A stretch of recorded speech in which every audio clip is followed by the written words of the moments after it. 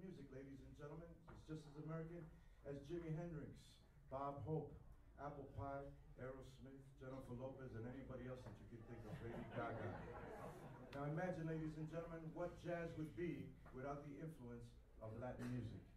As Jelly Roll Morton said, to play jazz correctly, you have to have the Latin tinge in it. We're gonna give it to you in full force right now. And so in 1939, Mario Bauzá was still performing as Cab Calloway Orchestra, and who was his roommate? None other than the great Dizzy Gillespie. And enamored with Afro-Cuban rhythms, Dizzy Gillespie wrote this tune in 1939, which he called Interlude. By 1943, it came to be known as what you know, A Night in Tunisia. Ah, ah, ah,